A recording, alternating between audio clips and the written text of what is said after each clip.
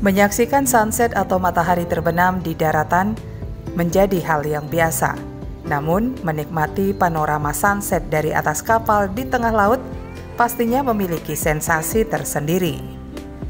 Penumpang kapal penyeberangan Banda Aceh Sabang berlayar sambil menyaksikan sunset dari atas kapal yang sedang menyeberangi lautan. Agar bisa menyaksikan panorama matahari terbenam dalam pelayaran Sabang menuju Banda Aceh, maka penumpang memilih berangkat pada sore hari.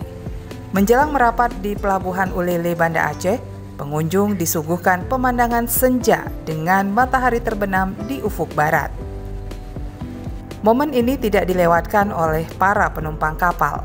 Mereka bergegas bergerak ke arah barat untuk menyaksikan sunset dari atas kapal penyeberangan. Cahaya matahari yang menguning di antara hamparan air laut menjadi pemandangan indah dari atas kapal. Apalagi suasana ini tidak semua bisa mendapatkannya. Mungkin termasuk dari 50 ribu orang yang beruntung ya hari ini bisa dapat sunset di atas kapal. Seperti apa sih keindahannya? Gak bisa dibilang pakai kata-kata sih. Sering nggak jumpa sunset di atas kapal? Baru kali ini. Karena biasanya berangkat uh, siang atau pagi kalau ke Banda Aceh baik dari Sabang.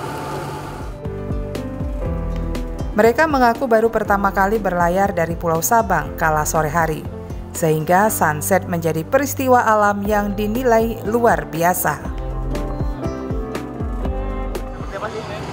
Kesannya bisa melihat sunset di kapal lamanya? Luar biasa sih, saya ciptaan Tuhan itu begitu indah ya, bisa lihat view pertama kalinya, pertama kali ke Sabang, lihat kayak gini tuh keren banget.